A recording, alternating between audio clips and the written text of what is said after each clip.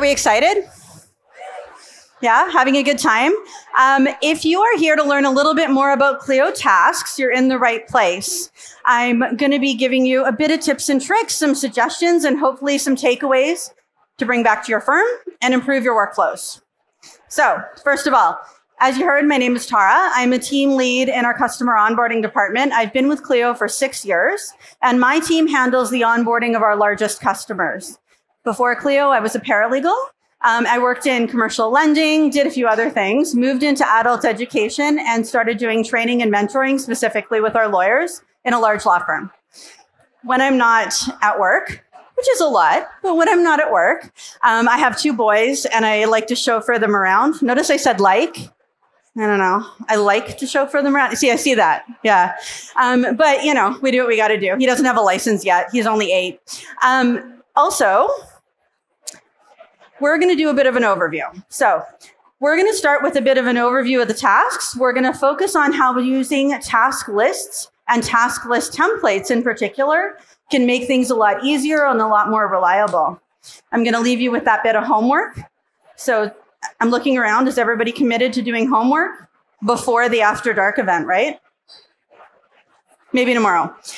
You're going to organize all of your, whoops, there we go. You're going to organize all of your to-dos and tasks, and you're going to group them together in lists with just a couple of clicks. Now, why tasks? I have a question. Does anybody here ever need to get something done, go to your calendar, and create an event? Yeah, yeah, you see that a lot, right? But the difference between tasks and an event is events typically need to happen at a particular time of day. You're going to do this thing from one to two o'clock, from three to four o'clock. With a task, you need to get it done by a specific date, but it doesn't matter when, right? It doesn't have to be at two o'clock in the afternoon. There's a big benefit with tasks. Now, see the picture? I wish I could lean over it. See that picture? Does that look like your desk? Okay, I'm seeing a couple of no's, but I don't know. I also see some yeses. Um, this reminded me of a story. So back in the day when I was a paralegal, I had a lawyer call me up and he's like, okay, I'm, I'm out of court. I don't want to come back to the office. I need you to tell me where I'm supposed to be and all the stuff I need to get done this afternoon. Walk into the office and that's what I see, right? I got sticky notes that say point one on matter ABC and, you know, don't forget to do this. And I'm like, I don't know what you want. Like, exactly what it is. I see people pointing at each other over here. I don't know what that means. Um, but what I did is I finally pulled it together, figured out what they wanted, took a picture, emailed it over.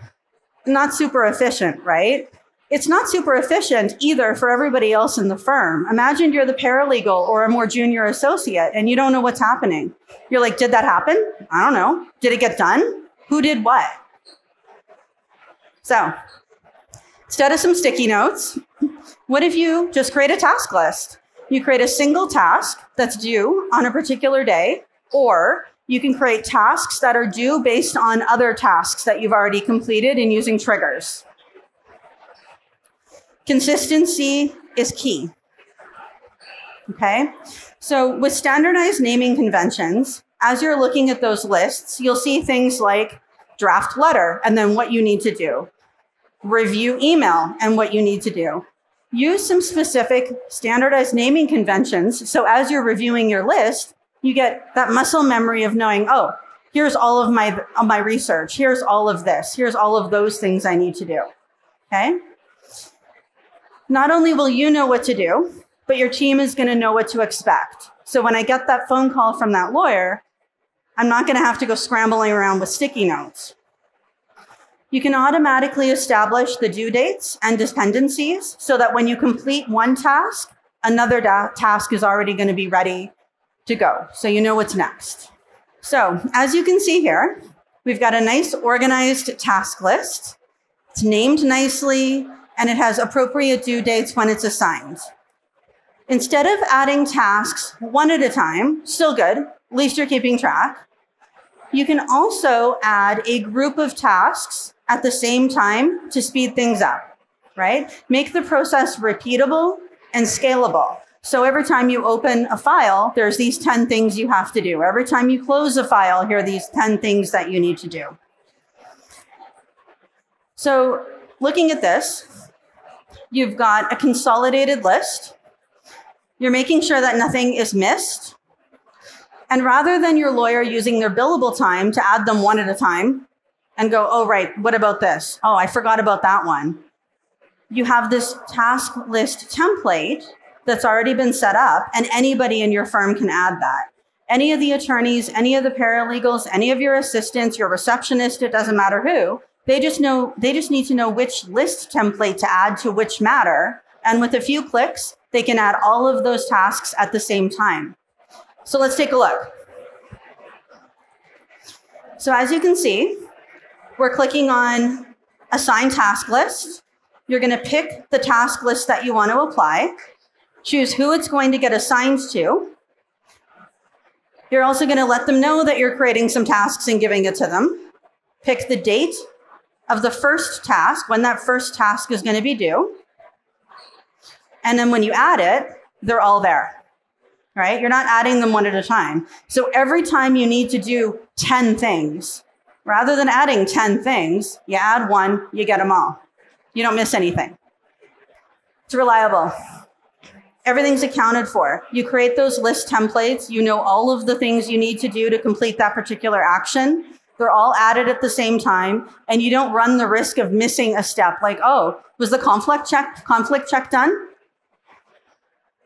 I'd be surprised if anyone in here has not sent out that message to the firm going, somebody did that, right? Where is it? But this way, you see it checked off, you know who completed it. Okay. Along the lines of consistency and reliability, what happens if you're not at the office? So on the left-hand side, we've got the desktop app. So me, as that, as that paralegal at the office, I go to Clio and I take a look at the desktop app and I'm looking at the matter and I can see all of the things that that lawyer needs to do. The lawyer, he wouldn't have had to call me. He's going to go to the iPad. He's going to open up his phone. He's going to go to that mobile app. And on the right hand side, he's going to see the same thing. So my old buddy Bruce wouldn't have had to call me. He would have had it right in front of him before he even got to his car or out for his lunch. If you're assigning tasks to other people in the firm, you can also check on their work, right? So in Clio, there's a few different ways to look at tasks. You've got the main task list, so you click on tasks, and you're automatically going to see all of the tasks that are assigned to you. Doesn't matter what matter, matter, case, whatever, they're all going to be there. But they're only going to be yours. What happens if you want to see all of the tasks that you gave to John or Jane or Fred? I see this. Yeah. Where are they? All you have to do is filter for them. I promise they're there. So as you can see in the, in the screenshot here, top right hand side, you've got a filter button. There is many, many things you can filter by. One of them though is who the task is assigned to. So let's just say I'm, I'm my lawyer, Bruce. That really was his name. I'm not going to give you his last name. That would be bad. So I'm not lawyer Bruce. And I'm like, what do I need to do? I see my own. Oh, but what did I ask Tara to do? Did she do it? Did that get done? Is it overdue? He could hit filter, choose my name, and there's all my tasks. Doesn't matter what matter they're on, doesn't matter what case, but that's everything that's assigned to me. Okay? The same thing would go to anybody else in the firm. Did I give a bunch of work to some associates in my firm? Is that done? I don't know. Just go take a look. Okay? There's many other things that you can filter for. It just depends on what you want to find. So let's talk a little bit about your homework. Is everybody thinking about task list templates? Do you think you'd use them? Yeah? Are you're like, I don't know. I don't know where to start. I, get, I can almost guarantee, what was that? It's hard to hear. Okay, so what you're going to do is you're going to you're to pause for a second and you're going to grab your phone. You're going to pull out a note-taking app, right? Maybe maybe your voice to text app, your voice memo, and you're thinking, what is, what's that thing that I do all the time, right? I'm always opening files. I'm always closing files. Maybe, maybe I'm in a practice area that has the same list of repeatable things that happen on a regular basis, depending on the practice area you're in. And you're gonna, you're gonna make a list to yourself. Here's the three or four things I need to do every single time. Start simple if you've never done this before. You don't have to make it complicated. You don't have to start with the thing that's, that's gonna have 30 or 40 tasks with a bunch of triggers. Start with something easy. What, are, what do we do? Somebody has to create a contact, create a matter, maybe set up some documents, engagement letter, whatever the case is. Make a list. What are all those things? Then, when you get back to your office, right, you're going to sit down and you're going to review that list. You're going to go to your Clio account and you're going to make the task list as a template. You're going to try that out. Maybe just with a couple people in your firm. Maybe it's just you and your assistant, or maybe you are the assistant and you're going to take that back and you're going to go to your lawyer and go, We're going to try something new. Just trust me. Somebody told me this would work. And they're going to go, eh, I don't know. But get them to try it.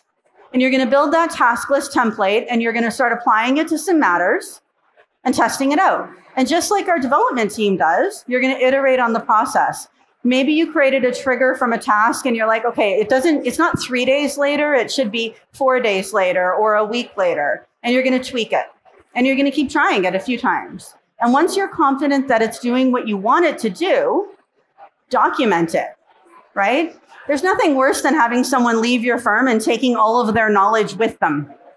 And then everyone's sitting there going, oh, darn, only that person knew how to do that thing, right? Document it. Go into Clio. Create a contact for your firm that's non billable. Create a matter called internal documentation. Store all of your documents there that explain your workflows. You got a new person starts, right? You want to tell them this is how we operate at this firm. Go take a look at these documents and let me know when you've read them. One of those can be documenting all of your task list templates. Once you're confident that it's doing what you want it to do, you're going to let everybody in the office know where to find that documentation. Or maybe you've documented for yourself because you know you're going to forget in a couple of days what you did. You're going to use it. And you can always edit it anytime you like moving forward. You want to change it, you need to add a step. That's totally fine. So you're going to go live. Right? Just like when we roll out a new feature. And then you're going to save yourself some time and you're going to stop missing steps. Doable? Yeah? Okay. What if you need help? Now, we got two options. You either want to talk to somebody or you don't want to talk to anybody. I figure I think that's like how it divides, right? You got people that want to call and want to have a conversation and that's cool, or you don't. So if you want to talk to us, um, you can give our support team a call. They're available 24 hours a day, five days a week, Monday to Friday. You got phone and you got chat or you can email them. Phone and chat are the best because that way you can hop on a screen share and get some help. You can say, I started this task list template, but I need a hand. Or you got your self help. Um, so if you don't want to talk to anybody, you can go and use our self help options. You can go into our go into our new and improved help center that you heard about the other day, and you can watch videos. You can look at step by step guides, and you can learn how to operate your task list. You can also chat with each other. If anybody here isn't in the law community, you should go join that. So it's our online community for all of our Clio customers. You can go in there and you could start a thread and you could say, okay, I, I do civil litigation. I'm creating this template. Here's the things that I like to do. What do you like to do? Or I'm estate planning or I'm whatever. And talk to your colleagues. Maybe you're a small firm. Maybe you only are one attorney at your firm and you want to find out what other people are doing. Okay? It's a good resource. Lastly, I didn't see that many people leave, so I'm going to take that as a good sign. I appreciate you all hanging out with me for a few minutes, and I hope that you took something away, go back to your firm, and you feel like you can implement that, right? If you need any help, come on over to the Success Center, right over there. You can see the big purple sign. Hang out with us, and we'll give you a hand here at ClioCon. Thank you.